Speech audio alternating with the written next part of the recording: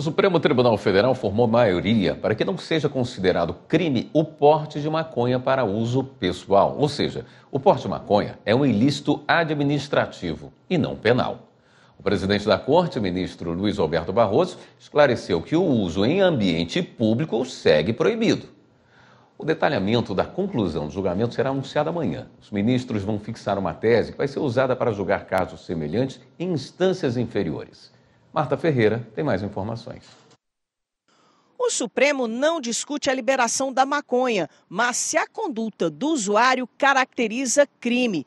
Isso porque a elaboração de leis e regulamentos é uma atribuição do Poder Legislativo. Assim, o plenário analisa os parâmetros para dizer o que é caracterizado como tráfico ou porte para consumo pessoal. Isso porque, como a lei não faz essa distinção, a análise sobre quanto é porte e quanto é tráfico de drogas, por exemplo, acaba sendo da polícia durante a abordagem ou de cada juiz. Diante desse cenário, duas questões foram levadas ao plenário. A primeira é se deve ser tratado como ato ilícito de natureza penal ou se deve ser tratado como ato ilícito de natureza administrativa a pessoa ter consigo drogas para consumo próprio. A segunda é fixar a quantidade considerada como de uso individual. A compra, a produção, a venda e o tráfico de drogas ilícitas continuarão proibidos. Até então, cinco ministros haviam votado para declarar inconstitucional o enquadramento como crime do porte de maconha para uso pessoal. Gilmar Mendes, Edson Fachin, Rosa Weber, Luiz Roberto Barroso e Alexandre de Moraes. Outros três consideram que as sanções da lei de drogas são constitucionais. André Mendonça, Nunes Marques e Cristiano Zanin. Já Dias Toffoli abriu uma terceira corrente ele entendeu que o dispositivo em questão é constitucional, mas não criminaliza, ou seja, não torna réu primário o usuário. Na retomada do julgamento, o ministro Dias Toffoli fez uma complementação ao voto. O meu voto é claríssimo no sentido de que nenhum usuário de nenhuma droga pode ser criminalizado.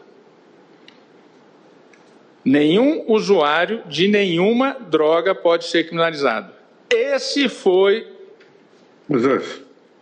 o objetivo da lei de 2006.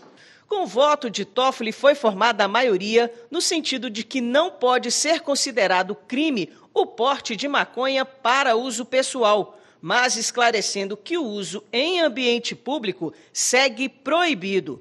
Toffolo, então, propôs a seguinte tese: fazer apelo aos poderes legislativo e executivo para que, no prazo de 18 meses, formulem e efetivem uma política pública de drogas, conforme previsto no artigo 28 da Lei 11.343 de 2006, interinstitucional, multidisciplinar, baseada em evidências científicas a qual deverá compreender obrigatoriamente a regulamentação das medidas previstas nos incisos 1 a 3 do artigo 28, a fixação de critérios objetivos de diferenciação entre usuário e traficante de cannabis e a formulação de programas voltados ao tratamento e atenção integrário aos usuários independentes.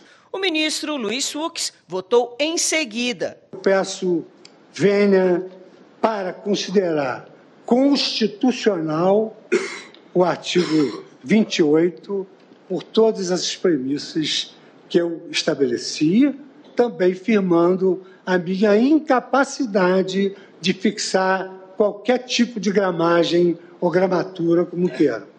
Nego provimento ao recurso, senhor presidente, com essas observações.